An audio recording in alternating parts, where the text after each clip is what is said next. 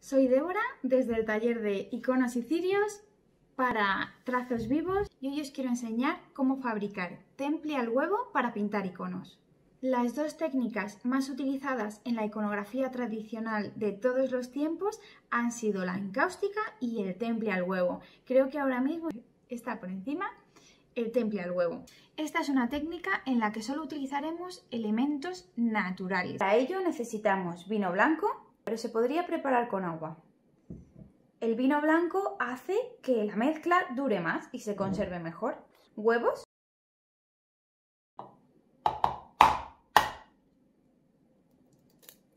Abrir el huevo con cuidadito que la yema quede intacta. Vamos a deshacernos de toda la clara del huevo. Limpia de clara. Vamos a coger algún objeto punzante, la misma espátula si tiene, eh, si tiene punta, lo pinchamos y dejamos que caiga el huevo. Estoy dejando que caiga lo de dentro de la yema sin dejar que lo que recubre la yema caiga en nuestra mezcla. Y cuando ya solo queda la membrana que recubre, la desechamos también.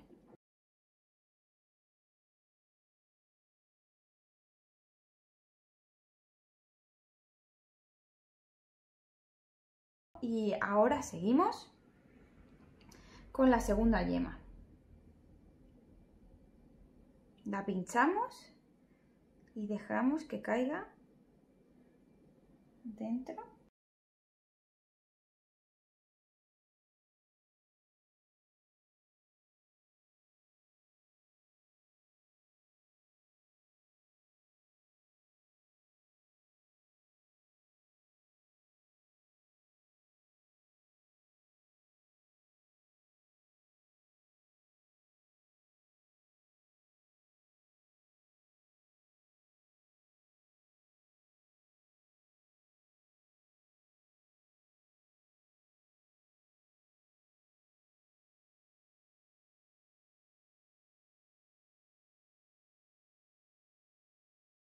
Ya tenemos la yema.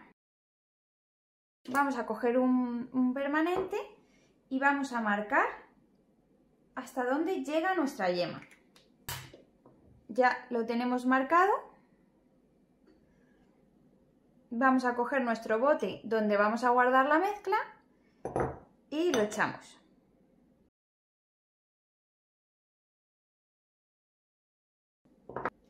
Ahora vamos a... Esto es opcional, pero yo os recomiendo que lo hagáis y es echar unas gotitas de aceites esenciales eh, en el huevo.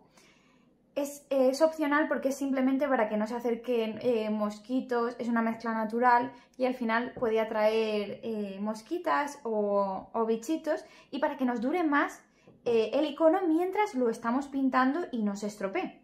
Nosotras utilizamos esta Ravinchara pero podéis utilizar esencia de árbol de té, eh, esencia de lavanda, también he visto que se utiliza y que la hemos utilizado en un curso y fue muy bien también. Pero ya están ahí mezcladas con el huevo. Y ahora el último paso, que es echar el vino. Por cada parte de huevo son dos de vino blanco. Por eso hemos hecho la marca aquí porque ahora vamos a coger el vino, vamos a rellenar hasta la marca y vamos a echarlo en la mezcla. Y este paso lo vamos a hacer dos veces.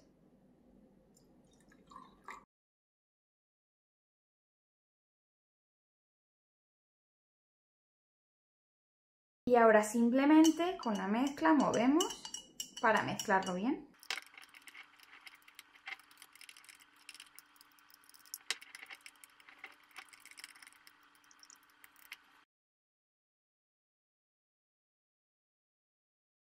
Vais a ver que queda una mezcla totalmente uniforme. Algo más clarita que una eh, yema de huevo. Y así tiene que quedar.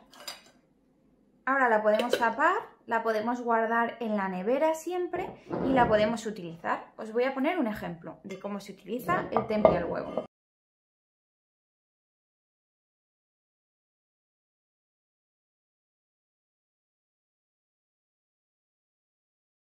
Coger algunos pigmentos, la cantidad depende, lo vayamos a utilizar, los ponemos en nuestra paleta esta es eh, una paleta de porcelana, que son eh, las mejores para, para este tipo de trabajos, porque son muy duras y muelen mejor el pigmento y no se estropean tanto. Las de plástico, pues a veces hay pigmentos eh, que tienen más tierra y acaban rayando la, la paleta.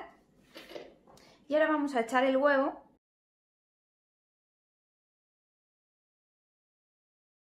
Nosotros utilizamos este tipo de pipetas pero se hace un poco a ojo. Echas unas gotitas, mueves y bueno, me ha salido bastante, bastante perfecto. El pigmento hay que molerlo bien para que luego no nos queden arenitas.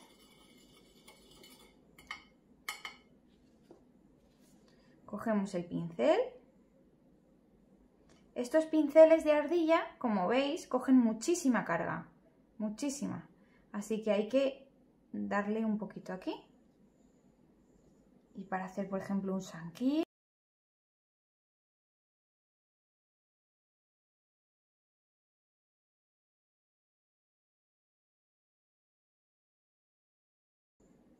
Los trazos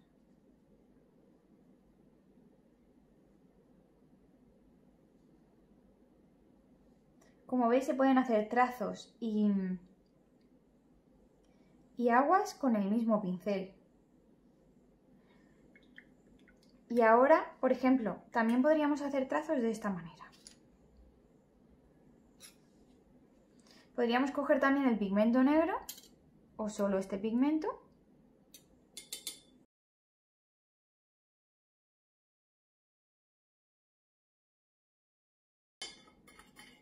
echarle solo un poquito de huevo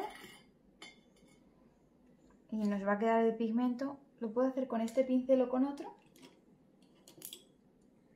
Puedo hacer, por ejemplo, eh, con este, que es de Kolinsky. Entonces voy a hacer trazos mucho más definidos. Al echarle menos huevo se me ha secado antes.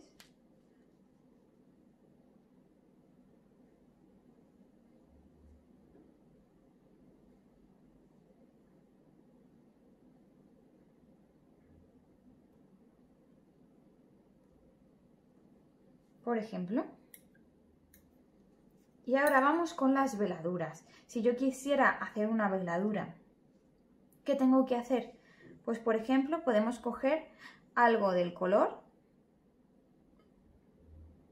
ponerlo, este color pigmenta muchísimo, ponerlo en un segundo agujerito, coger bastante huevo y echárselo. Le echo mucho porque eh, el hercolano pigmenta mucho.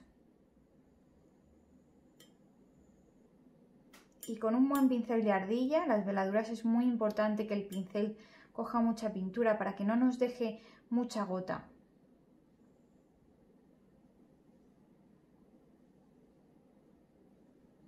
¿Veis cómo el pincel incluso recoge para que no deje mucha gota?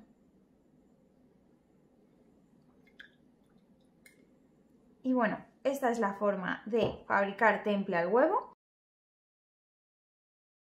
al ser una mezcla natural no nos va a durar para siempre, sino que se va a acabar estropeando y tendremos que fabricar más. Aunque las cantidades dependen mucho del pigmento. Hay pigmentos que recogen mucho huevo y hay que echarles un poquito más para crear esa pintura un poco más untuosa o un poco más líquida y luego yo hago un color base y le voy añadiendo huevo según necesito. Otro consejo que os daría sería que no queráis realizar un color, por ejemplo, necesito un naranjita y voy a mezclar el hercolano con un amarillo oro. Entonces cojo el pigmento amarillo, cojo el hercolano, los mezclo y luego le añado el huevo. No hagáis eso, lo he probado. Puede funcionar con algún pigmento que otro, pero normalmente no funciona. Cada uno de los pigmentos se separa, el huevo mm, acaba reaccionando de manera distinta Primero preparar el color del hercolano con sus pigmentos, sus huevos, lo, eh, lo moléis bien el pigmento, lo preparáis bien. Después el segundo color, amarillo oro, por poneros un ejemplo, lo preparáis bien y después con un pincel perfectamente podéis coger un color, otro color y crear una mezcla de colores.